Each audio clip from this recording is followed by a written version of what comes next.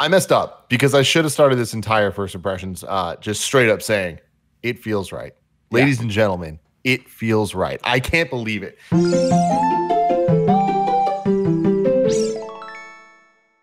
What's up, guys? Welcome back to another kind of funny first impressions. As always, I'm Tim Gettys, joined by the boss baby himself, Barrett Courtney. Ooh, what's up, feeling? Tim? I'm not only excited to talk about the demo of a game that's probably one of our more anticipated games uh, Oh, for, for this fall, but I'm also excited because I think this is the first time I'm recording on camera for a kind of funny thing in my new setup. So I'm very excited for no more YouTube comments asking if I'm recording in my fucking closet because I've never been Well, recording in my Congratulations closet. like on, it- on graduating from the closet to now the the, the, the it- pinky it wasn't even my closet. My setup just used to be five feet over, and the background was just my bedroom door. So no, I've never been recording in my closet, you fuckers. Now the other complaint is like, ah, Barrett looks pale. I'm a white Irish person living in San I. Francisco. I can't. Th- this is all you're gonna get. So that's It all is I can what it is, fix. it is yeah yeah maybe maybe you'll, you'll fix the next thing later we'll have to see we'll have to see but uh if you want to see barrett's room you can check us out on youtube.com slash kind of funny games. Or if you just want to listen to us and just imagine what barrett's talking about that's cool too. Yeah, imagine Search like your favorite like imagine what my setup used to be, and then imagine what it is now, and just think like the, they were both fine. They were both fine. yes they were always good. It was always good. And is he super pale? No. If you're just listening he's not. He can be whatever you want him to be. Anyways you can look for your favorite podcast service. Just search for kind of funny first impressions and we'll be right there uh, which is very exciting for everybody involved especially me because i've been talking about for months being plagued by this jared petty debatable album art it's finally gone Is it gone? it is gone Wow. It- it- it Fine, and if to- you're seeing it, please tweet at Tim Gettys because you shouldn't be. It like as far as I know, it has been completely erased Wow. from from memory. So thank God. Anyways, let's get into it. We're talking about Tony Hawk's Pro Skater One Plus Two remake. Uh, Barrett, you and I got to play the warehouse demo, Yes. uh, yes, which did. is which consists of it's it's it's very reminiscent of the OG Tony Hawk One demo. So of course, I'm feeling very nostalgic about it all. You get to play as Tony Hawk, stats all the way down to just basic stuff. It's one single session Mhm. in the warehouse. Uh, not too much to play around with because we're not. This is in career mode, so we're not able to do any of the goals and stuff. It's Yeah. just single session, do some tricks, have some fun. What are your top level impressions?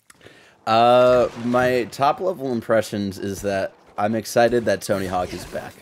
Is is, is my thing, Tim, and uh, like I know, like when Pro Skater Five or whatever came out, I think that was the one that was uh, the most recent Pro Skater. You were very let down. I never played it, but from what I understand, like it just didn't feel right.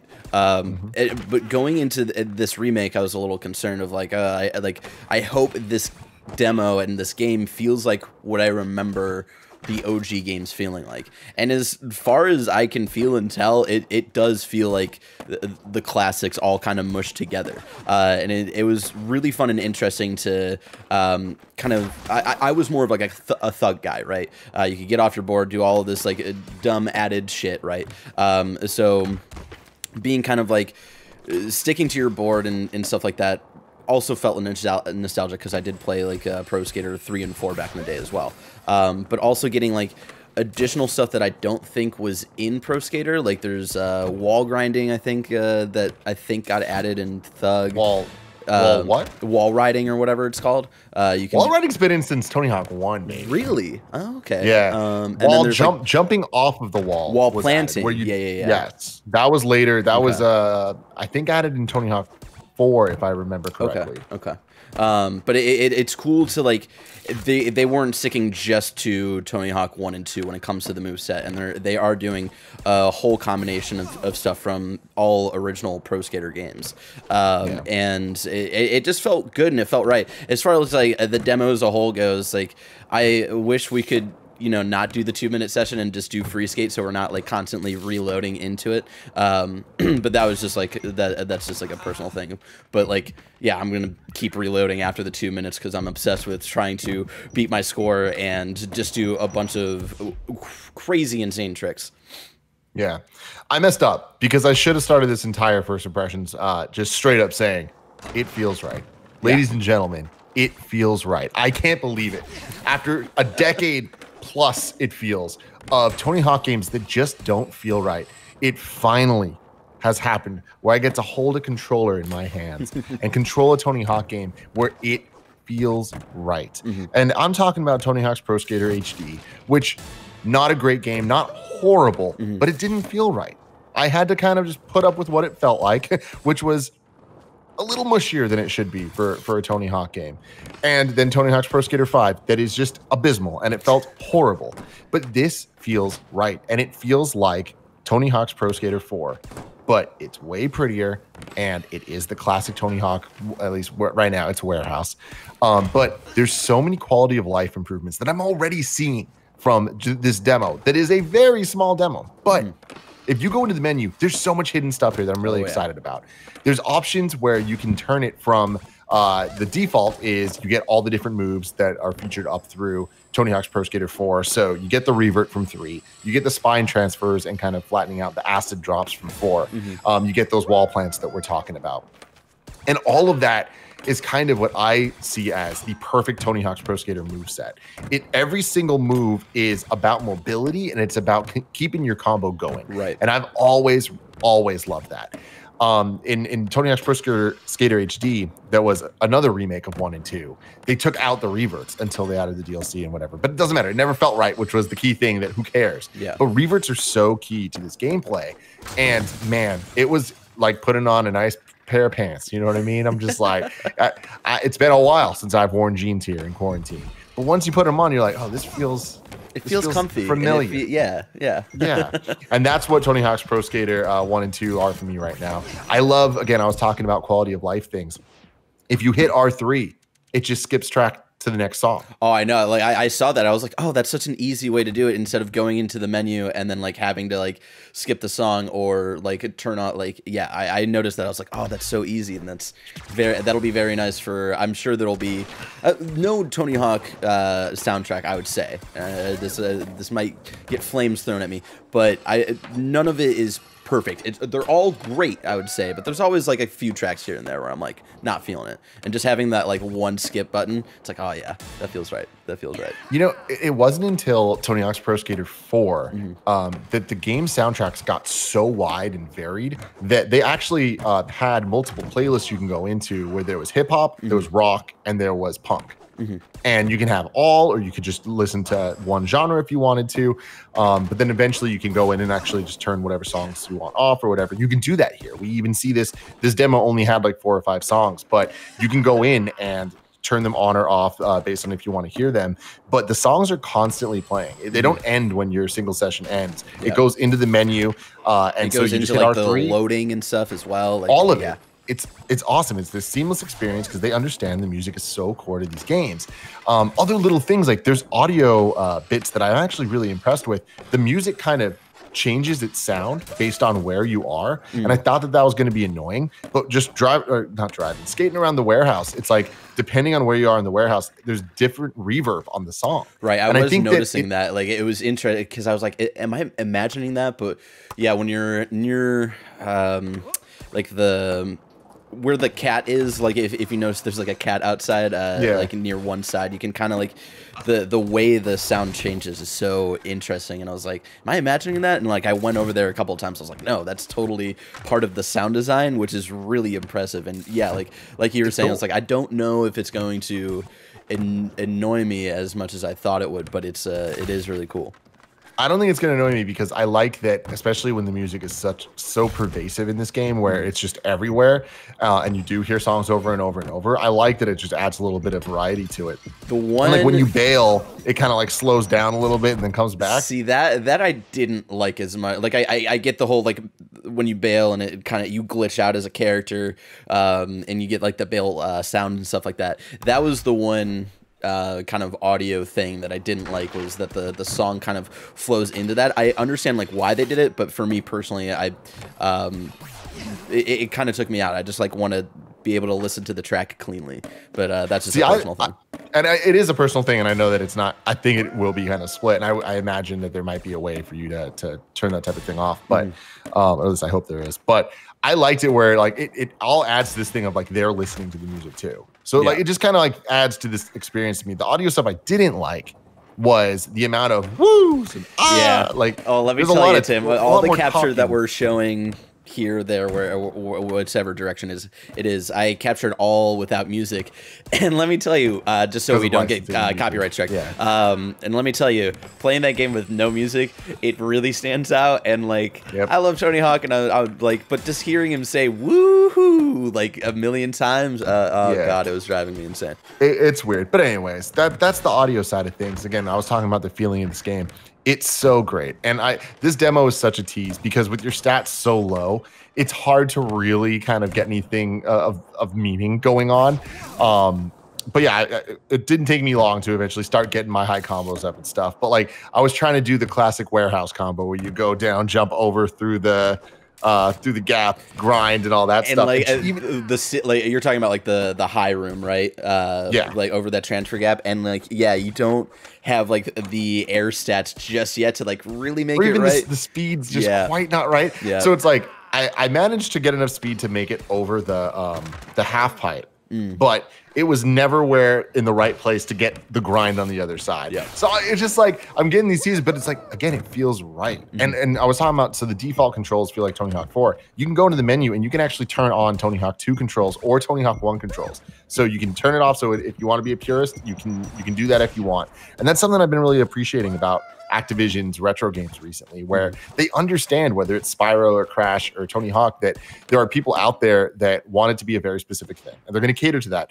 But they also know that there's so much more potential for it to be modernized and you know enjoyed by a a, a large amount of people that that maybe don't want the to be held back by nostalgia. And, and I'm one of those mm. people. I'd rather have revert than mm-hmm. than not. And it's something that you were uh, you mentioned like right before we started talking was that uh because it's been a while like uh, like our kind of um language Muscle with the control like the muscle memory is a little gone. And let me tell you it was really weird playing this game after playing so much skater xl uh, which Yeah. is more of a hardcore version of skate where you're using the thumbsticks to do all your flip tricks and stuff like that. And it yeah it felt very off for me but like one and that's only just because i've been playing a another skateboarding game to try to help fill the void until tony hawk comes out um, and so it it, it felt kind of like oh god like I, I i forget how to play the more arcadey side of skateboarding games but uh once i got into it yeah like what you were saying it felt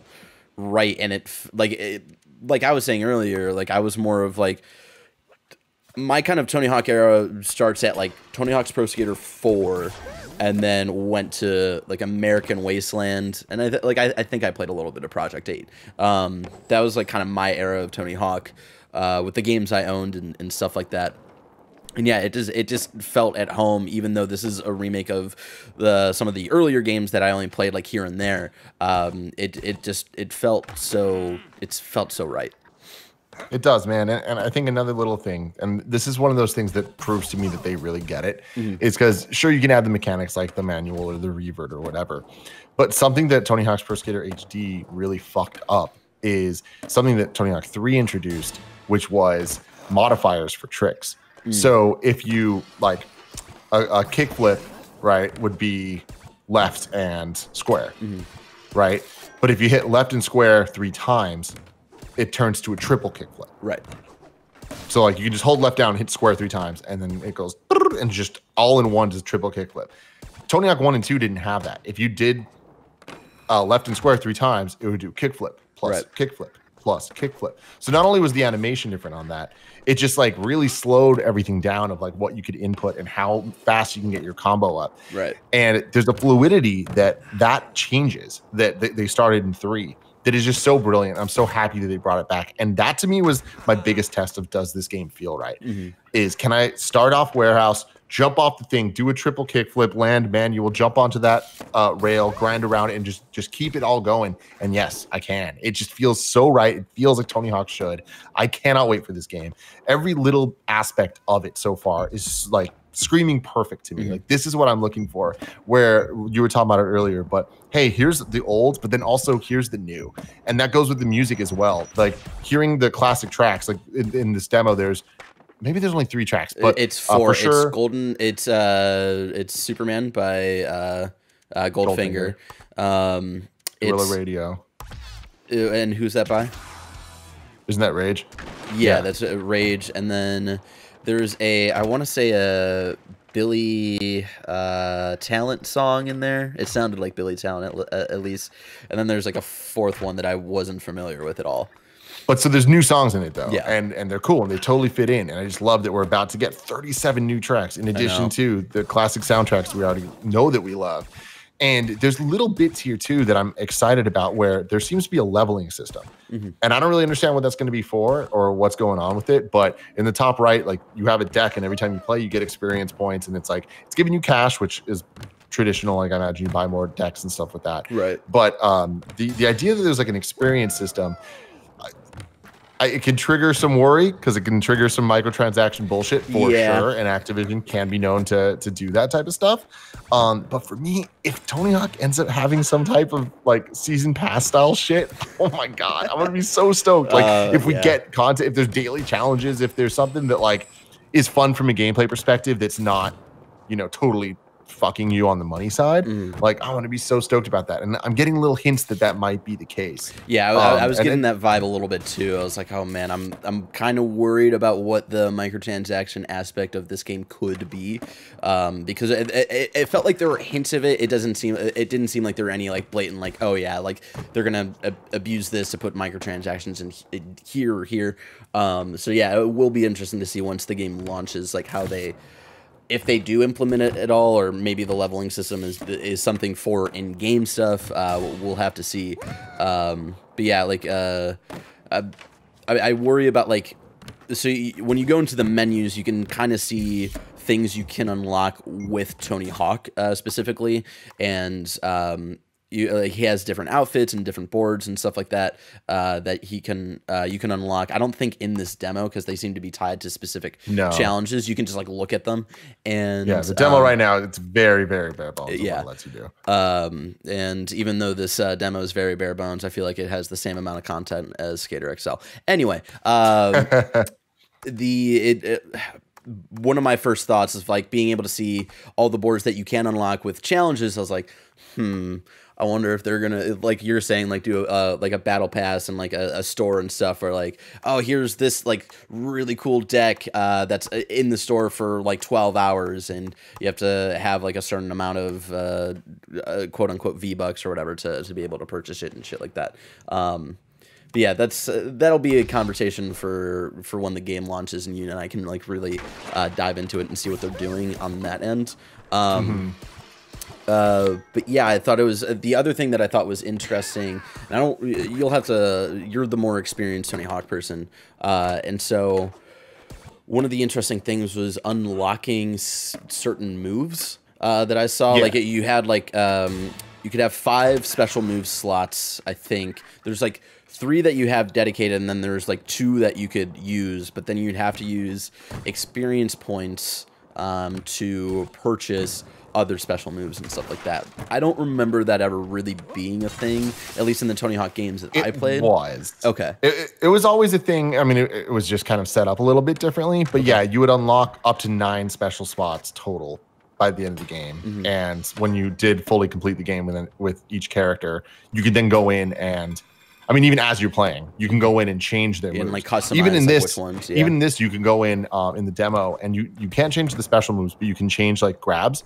So it's like if there's a grab that you don't like, like for example, um, the Benihana move. Mhm. Do you know what I'm talking about? Yeah, yeah, yeah. Like the skaters get in this really weird shape, like it kind of like yeah, and it, pulls it- their body it- out and, a it- and it's like it's so weird that it feels hard to like really predict where this like the board is really gonna land. If you're gonna like fall or actually like hit it perfectly or hit it mess uh like messy and shit like that. Yeah, Yeah. I totally get I totally get that. Exactly. So I would always like to get rid of that move, Mhm. and I would replace it with like a Japan Air or something that's Yeah. a little bit more consistent with where the board is, um, just for enhancing my gameplay and combos. I take this shit way too seriously.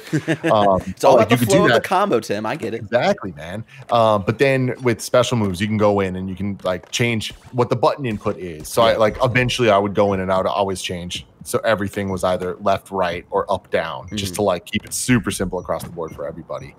Um, but I'll tell you what, man, landed a 900 or uh, the varial. McTwist in this, I'm just like, oh, It felt so good. It took me so long to finally land a 900 because, like you were saying, like you need a certain amount of air, and specifically with uh, how the way warehouse is designed, there with like the stats that you have, there's no perfect spot to really like get enough enough speed to get enough air to like really land the 900 but i was able to to finally get it um uh kind of near where like the little um uh, the gap thing is where you, you jump over it. Uh, Oh, yeah. And so I was finally able to get it there, and it felt so nice. And then yeah, like the um, w- what was it? The something McTwist. Um, Varial. yeah, the Varial McTwist felt so fun, and then the the grind special that I, I forget what it was called. Five But, uh, Yeah, yeah, yeah. Something like that. Some it was some variation on the five O. Yeah, and it was just it all felt so fun, and then to like do that on the long rail and to the manual in, and just do what I always did playing Tony Hawk games to rack up points was just do a fuck ton of manual moves because I, I love manualing in uh in in those games, and it just all felt really really fun.